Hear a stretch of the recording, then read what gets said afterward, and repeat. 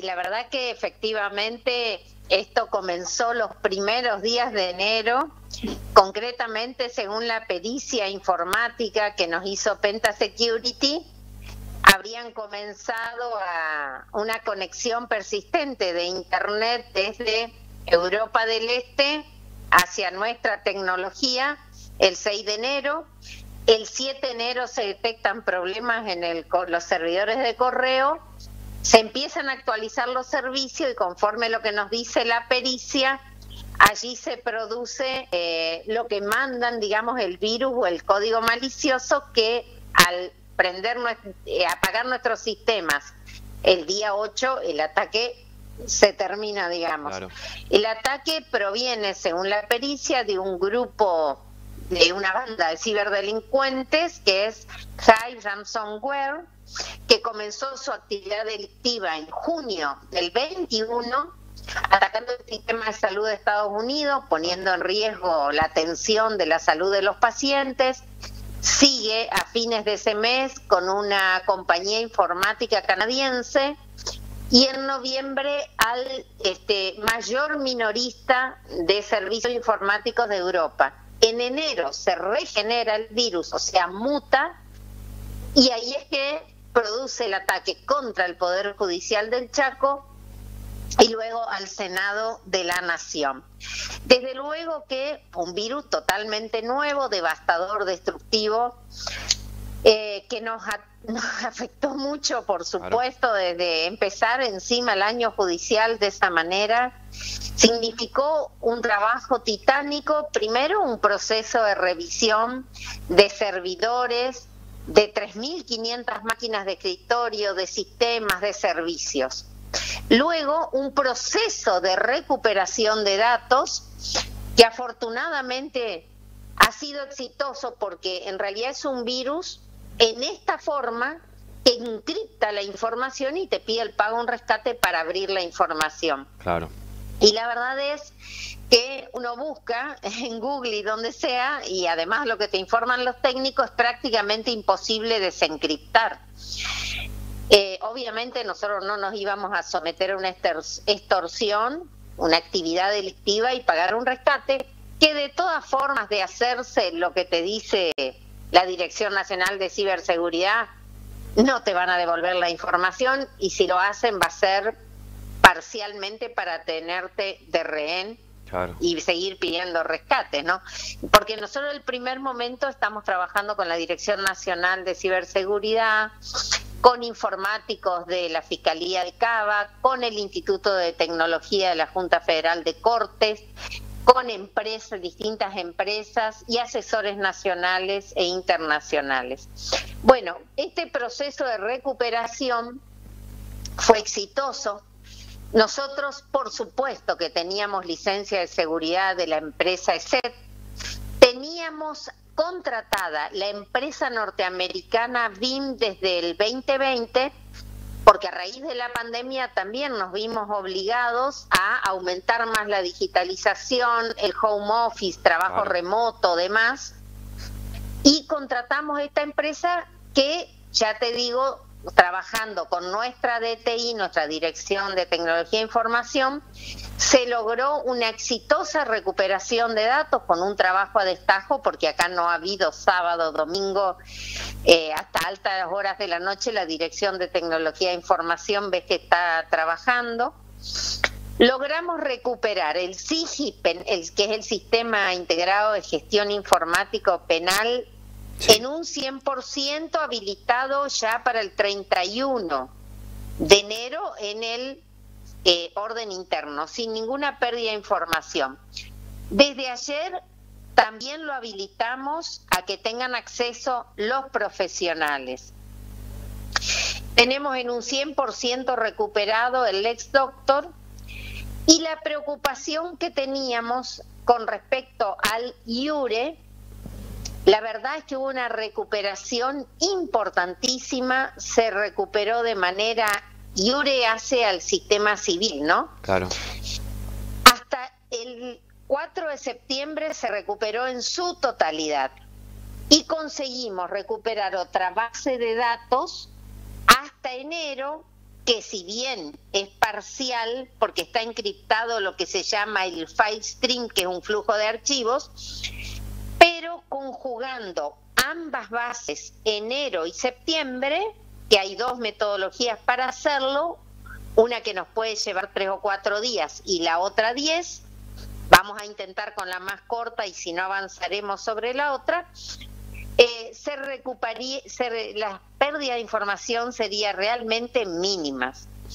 Hoy tuvimos una reunión con los abogados y abogadas de toda la provincia porque nosotros estábamos evaluando anticipar el levantamiento de términos y audiencias en administrativo, laboral, familia, penal este, bueno, ellos nos pidieron respetar que se levante el 14 para que puedan terminar de acomodarse, ver los expedientes. Desde luego que en todo lo que es urgente, prioritario y lo que se puede hacer, las recomendaciones que se hagan, ¿no es cierto? Eh, pero entonces el lunes, naturalmente, como se había dispuesto, se levantarían términos y audiencias en esos fueros.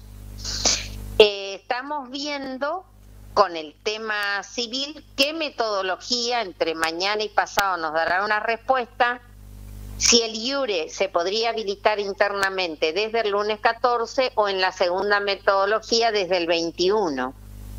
Y conforme a eso veremos cómo actuamos porque los... Eh, vamos a ver si vamos a la corta o a la larga y nos vamos a volver a reunir con los profesionales del derecho a ver cómo quieren definir si prorrogar o no, suspender términos o no, como lo hemos hecho en esta oportunidad. Así es. La verdad que el trabajo de recuperación se hizo desde los backup, eso, este, porque algunas versiones decían algunas inexactitudes, por ser suave en el término, se recuperaron desde los backups y con la ayuda de esta empresa que estaba contratada con anterioridad, diciembre del 2020. Claro. Así que la verdad que estamos estamos bastante, ¿cómo te podría decir? Muy cansados en el punto de tantas horas este, dedicadas y, y, viste tantas expectativas y tantas consultas, interconsultas, trabajos, pero estamos viendo que estamos llegando frente a lo que fue una catástrofe en realidad que estamos llegando a un, buen puerto en lo que hace a la recuperación de datos, sin perjuicio de que siguió funcionando la justicia en la medida de las posibilidades, de acuerdo a los accesos que había. Así que bueno, eh, creo que ya estamos en un panorama mucho más este, favorable, ¿no? Por todo el recupero que se ha hecho. También se ha recuperado el sistema de control de trámites y notificaciones y el INDI a enero. Así que la verdad que estamos este, como muy optimistas ahora. También nosotros mañana vamos a levantar la página web, claro. que te significa que allí está contenido, por ejemplo, que es muy importante para los abogados, la lista de despacho, consulta de pagos, consulta de saldos bancarios, y además nosotros tenemos servicios como lo que es lo que es personal, el registro digital de asistencia.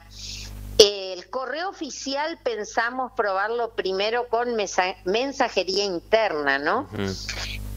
Porque la verdad es que nosotros todos los sistemas dijimos vamos a ir levantándonos en la medida en que frente a un virus que muta, que cambia, que es nuevo, que tenés que redoblar esfuerzos y cambiar algunas medidas de seguridad, este, queremos hacerlo, primero decíamos con la absoluta seguridad de que no haya vestigios del virus.